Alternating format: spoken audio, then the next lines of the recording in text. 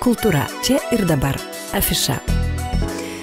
FM99 eterija studijoje prie mikrofono esu aš Eglė Malinauskinė ir šiandien, mėlyjeji, mūsų kultūrinėje laidoje Kultūra čia ir dabar afiša. Mes pakalbėkime apie tai, kad ilgėjant vakarams turbūt neretas mūsų jau žiūrime į knygų lentynas, jau ir knyga dažniau tikrai tampa mūsų gera drauge, kompanijonė ilgais vakarais tiesa. E, tai štai apie vieną tokių knygų Vysla per Lenkiją mes šiandien pakalbėsime su autoriumi, sudarytoju, su ekspedicijos dalyviu Seliamonu Paltanavičiumi. Labadiena, gerbiamas Seliamonai. Sveiki, gyvi. Labai malonu Jūs ir vėl girdėti, su Jumis ir vėl sveikintis, kalbant apie tuos ilgėjančius rudens vakarus. Ar pačiam tenka tokio džiaugsmo paimti vakarais knygas į rankas, ar vis dėlto tas laikas taip sustiguotas, kad tenka knygas greičiau jau kurti, nei pačiam prie jų prisėsti pailsėti?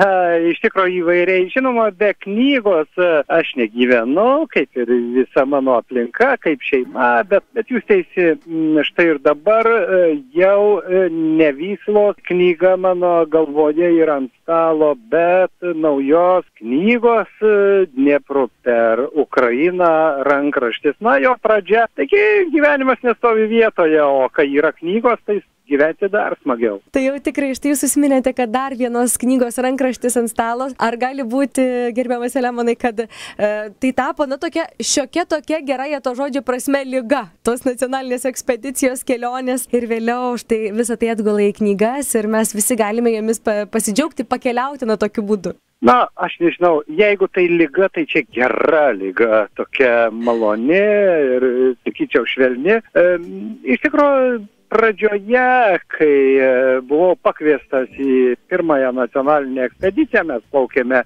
labai netoli, kaip šiandien atrodo, iš Kauno, Nemuno iki Rusnės kuršių marių, toliau iki Klaipėdos, tai dabar atrodo toks vaikiškas tas um, tik tai maršrutėlis. Tada nemaniau, kad um, iš tikrųjų tokio atgarsio susilauks tos mūsų laidos ir kad, kad pačios ekspedicijos kelionės ir mums patiems taps, na, tikriausiai jau beveik gyvenimo būdu.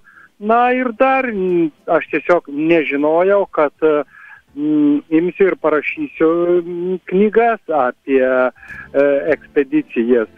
Taigi gyvenimas kartais štai ima ir pasiūlo tokių sprendimų, kurie, na, malonus. Na, nesvarbu, kad e, vieniem malonu skaityti, o aš turiu visgi rašyti, bet rašyti taip pat yra malonu. Pirmoji ekspedicija buvo Nemun per Lietuvą, antroji štai Vysla per Lenkiją. Kodėl jūs pasirinkote būtent tokį maršrutą, kodėl Vysla ir kodėl per Lenkiją buvo antroji kelionė, antroji ekspedicija? Na, iš tikrųjų, visos nacionalinės ekspedicijos kelionės, kiekvieną vasarą, jos nėra stichiškos, jos nėra nukritusios šiaip tau tai yra visa, kas siejama su Lietuvos didžioja, didžiaja kunigaikštystė, su Lietuva ir kas apskritai bent jau istoriškai yra turėję, žodžiu, lietuvybės ir Lietuvos ženklų. Tai Lenkija ta šalis, su kuria mes esam šiandien galvojame tik, kad kaimynai esame. Iš tikrųjų, mm, ilga, ilga bendra istorija ir abiejų tautų respublika e, po Liublino unijos ir, sakyčiau, e, vėlesni, na, įvairūs ir geresni ir blogesni santykiai, bet jie, na, padėjo kartu kurti mūsų bendrą istoriją ir šiandien, na, tikrai ne visada galima net ir atskirti, kur kas yra istoriškai mūsų, kas yra bendra, tai ir, ir kultūroje, ir net virtuvėje, ir mūsų, ir karaliai, ir kunigaikščiai, ir viskas. Žodžiu, tiek bendrybių, kad, žinoma, na, tiesiog vargu ar būtų galima įsivaizduoti, kad iškristų, sakykime, ta kelionė. Na ir visos kitos kelionės būtent paženklintos štai tokiu ženklu. Ši kelionė, ši ekspedicija yra iš laiko perspektyvos, žiūrint į istoriją, ar ne? Tai galima turbūt būtų pasakyti, kad jūs, na, liesdamiesi prie tos senosios istorijos, kartu ir tą gyvąją istoriją įlėjote, nes, na, jūs keliaujate dabar, jūs bendravote su dabar gyvenančiais žmonėmis, ar ne? Na, tai toks, sakyčiau, dviejų tokių momentų gražus susiliejimas - tos senosios istorijos ir dabartinės išskirtinės, gyvosios. Na, iš tikrųjų taip sako, kad e, kiekviena diena renčia stato istoriją ir šito tikrai nepaneiksi. Taip, istorija senoji, mūsų, kaip jau minėjau, labai daug bendro ir, ir daug tokių faktų, daug e, įvykių, kurių mes Na, gal buvom girdėję, o gal ir ne, nu štai sakykime, niekas e, dažniausiai net ir neprisimena to, kad pirmasis Lenkijos prezidentas šiaip ar taip, taigi buvo lietuvis, Narutavičius iš Žemaitijos. Vienas brolis buvo signataras, 18 metais kitas Lenkijos pirmasis prezidentas. Bet šiandien įdomu tai, kad šiandien žmonės, su kuriais bendravome, labai daug ir labai geranorių, supratingų ir tikrai Lenkijoje buvo labai gera, e, labai šaunu. Jie tikrai visai kitaip mato tuos mūsų bendruosius santykius, tą mūsų bendrąją istoriją. Ir svarbiausia tai, kad labai mus sutikdavo na, visur ne todėl, kad mes nacionalinė ekspedicija, žinot, Lenkija valstybė didelė ir praplaukiantys du laivai e, upe arba tos dvi mūsų komandos, kurios visą laiką kažkur juda, kažkur filmuoja, na, tai nėra reiškinys. Tai kažkas tokio nedidelio, sakyčiau, bet, bet įsivaizduojate, na, žmonės net ir be jokio pasiruošimo, e, jeigu apsistojame kur prie upės vakare, tai, tai kaimynai, kaip mes sakome, jie tiesiog ima ir ateina su e, didžiulė pintinė, prikepę e, piragų, duonos naminės lašinių idėja, na tiesiog, tiesiog šiltas toks paprastas pakeleivio prieimimas. Tai čia taip pat istorija. Čia tokia gerų santykių istorija, sakyčiau. O gerbiamas Selemonai, ar nebuvo tokių momentų, kai teko gal kiek kiečiau, tvirčiau įsidiskutuoti, nes jūs ir pats užsiminėte, kad tikrai yra tokių momentų, kur nelabai ir atskirsi, lietuviai sako, kad tai yra lietuviška istorijos dalis, lenkai sako, kad lenkiška ir tokių net, na, tokių pykčių gali atsirasti. Aš pati puikiai pamenu, kai į stovyklą važiavau į Lenkiją ir, ir mes susipykome su Lenkų komanda apie Mitskevičių diskutuodami. ar nebuvo tokių, na, rimtesnių, ilgesnių ir griežtesnių diskusijų? Žinot, mm, kas tai yra diskusija, reikėtų susitarti, arba e, ginčas. Žinot, e, kai kas sako ir, ir žinoma, tai juokais sako, kad ginčas arba diskusija tai įrodymas, kad tu esi teisus. Ne, tai, tai neteisingas supratimas. E, ginčas arba diskusija tai yra bendros kažkokios tai išvados paieškos. Tai e, mes e, tikrai, e, beje, ir plaukdami, keliaudami per Baltarusiją visą laiką kalbėjomės ir su baltarusiais, Lenkijoje su Lenkais, tais pačiais, ir tas pats Adomas Mitskečius, kieno jisai mūsų.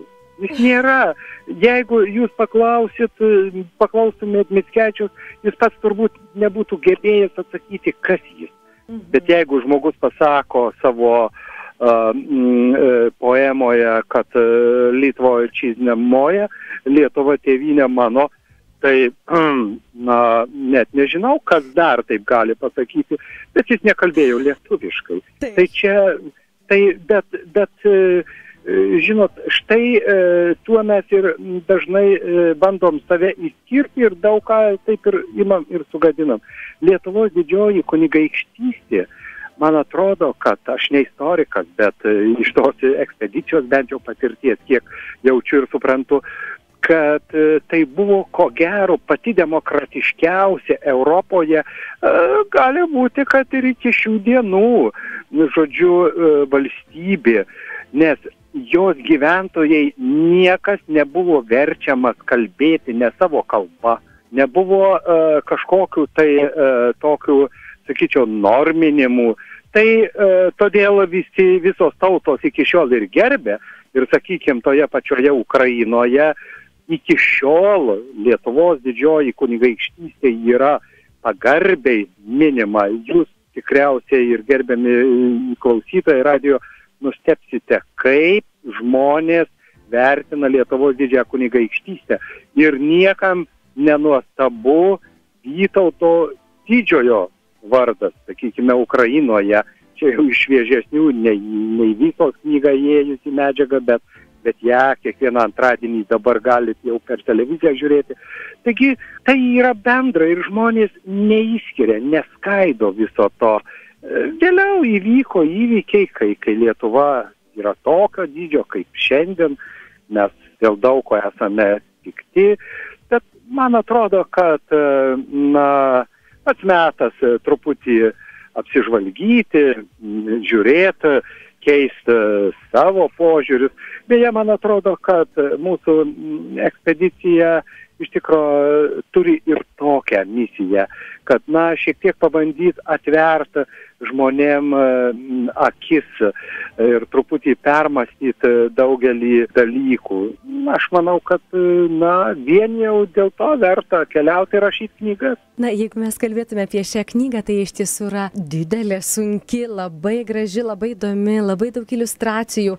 Na, tikrai ta knyga, kurią, man atrodo, bet kuris žmogus džiaugtųsi galėdamas pavartyti, paskaityti, susipažinti, pamatyti. Ar jūs, e, Selemonai, galėtumėte mums kokį patį jums pačiam įspūdingiausią momentą papasakoti, kuris yra būtent šioje knygoje? Na, tiem žmonėms, kurie dar nematė šios knygos, nevartė ir nežino, tiesiog šiek tiek paintriguoti. Jų tikrai ne vienas būtų, bet gal aš du tik tai užsiminsiu. Pirmas tai buvo didžiulis įspūdis apsilankius Malborke, Marienburgė ir pamačius kryžiuočių pilį, kuri niekada nebuvo užimta, pamačius jo mastą, jeigu kas nors dar ten nesate buvę, būtinai nukeliaukite, dar šį rudenį galima pamatyti didybę vakarų Europos kultūros plitimo tempus, kaip jie buvo daromi. O šiaip buvo e, turbūt dar vienas įdomesnių, tai Žalgirio mūšio lauke, kur viduryje lauko stovi toks monumentas, obeliskas didelis, kad čia įvyko mūšis ir lyg pirštų bakstelėta kurioj vietoj. O iš tikrųjų profesorius Bumblauskas su istorikais Lietuvos iššifravo, kad visgi mūšio vieta buvo visai kitoje vietoje, ta prasme už e, Žalgirio mūšio lauko ir, ir tiesiog mes e, viską tyrinėjom vietoje, kur stovėjo um, kryžiuočiai, kur lietuvių pleištai uh, veržėsi, taip vadinosi, žodžiu, tokie raitininkų toks pulkas šarvuotas, kuris verždavosi ir turėdavo pramušti priešo gynybą. Tai tiesiog, žinot, na, stovi, klausai, dalyvauji tame tokiam atradime ir galvoji, palauk, bet iš tikrųjų tai čia tavo akise keičiasi istorija, istoriniai faktai, tu esi to liudininkas tai labai smagūs tokie, sakyčiau, dalykai. Taip, iš tiesų, tai jūs mokote ne tik priimti istoriją tokią, kokia yra parašyta knygose, bet ir mokėti su ją padiskutuoti ir, ir paieškoti vis dėlto tų tikslesnių atsakymų. Jūs pats ir visa komanda, kaip minėjote, buvote istorijos keitimosi liudininkai ir ta e, besikeičianti istorija taip pat jos yra ir šioje knygoje. Tai aš, Selemonai, jums labai labai dėkoju šiandien už pokalbį, labai įdomu kaip visuomet ir kviesime tikrai visus tuos, kurie turi turi jau ilgėjančius rudens vakarus, kiek laisvesnius, imti knygą į rankas. E, šiuo atveju Vysla per Lenkiją, kol sulauksime jūsų rankraščio pavirsiančio knygą naujo. ir e, linkiu Jums tikrai daug, daug gerų įspūdžių, Selemonai. Lauksime Jūsų naujų išgyvenimų, potyrių, knygų ir pasakojimų. Ačiū, pasistengsiu. Kalbėjome su knygos Vysla per Nemuną sudarytoju, autoriumi, su ekspedicijos, nacionalinės ekspedicijos dalyviu Selemonu Paltanavičiumi. Taigi štai ta knyga, e, kurią aš turiu dabar savo rankose ir labai norėsiu ją parsinešti namo. Tai knyga, kurią išleidote Republika ir kuri tikrai net nebejoju, praskaidrins ne vieno mūsų vakarus ir leis pagilinti ir istorinės žinias, ir geografinės, ir visokias kitokias. Na, kaip gerbiamas Selemonas e, pasakojo, taigi jau buvo kelionė ir į Ukrainą, jau plaukė upė ir Ukrainoje. Taigi lauksime naujų įspūdžių, stebėsime nacionalinę ekspediciją ir lauksime naujos knygos. Kultūra čia ir dabar. Afiša.